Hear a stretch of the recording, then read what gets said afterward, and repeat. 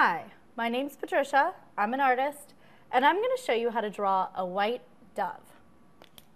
So when you start out drawing your white dove, just do a nice long line for the body, somewhat curved, following the body shape. This is the wings of the tail. Again, doves have smaller, more compact, they have long bodies, but the body itself is somewhat compact. So leave these two lines closer together. Here's the beak.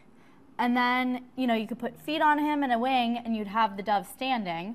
Or I like to have my doves flying because I think they're so beautiful flying that we're just going to have a wing up in the air. Again,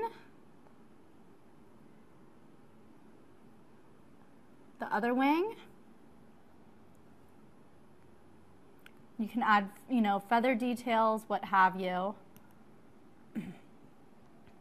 The eye, the beak. Here are the feet. You can tuck the feet in when they're flying. They usually are tucked in. And there you go. There's your white dove. Enjoy.